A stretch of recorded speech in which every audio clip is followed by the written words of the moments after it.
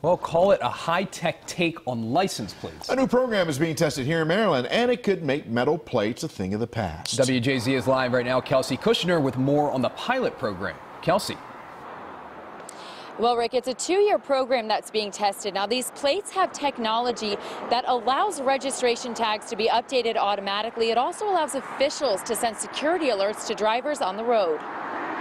Metal license plates, rusted screws, and registration stickers could soon be a thing of the past. Imagine updating your vehicle registration and having your plate, which sits outside of your house, being updated right away. That would be a great convenience for customers. The Maryland Department of Transportation Motor Vehicle Administration is testing out a two-year program swapping out metal license plates for digital ones. It seems like a good idea. MDOT MVA officials say they're working with Reviver, a digital license plate manufacturer, to test out the new plates. The digital plates would be similar in size to the metal ones, but have an electronic display with a battery life of five years. The technology lets drivers automatically update their registration and cracks down on potential car thefts. If your vehicle happened to be stolen, we could display it right on the digital tag, hopefully helping law enforcement be able to apprehend the vehicle more quickly.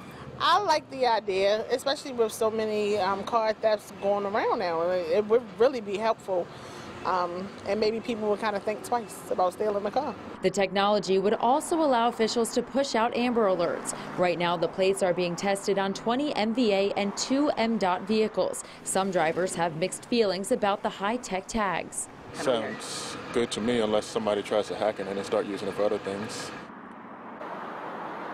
And Maryland is the fourth state to test out this technology with no cost to the state. Now, MDOT officials, they say they still need to work out a few potential problems, like how they would be able to actually send out security alerts without distracting drivers on the road. Reporting live tonight in Baltimore City, Kelsey Kushner for WJZ.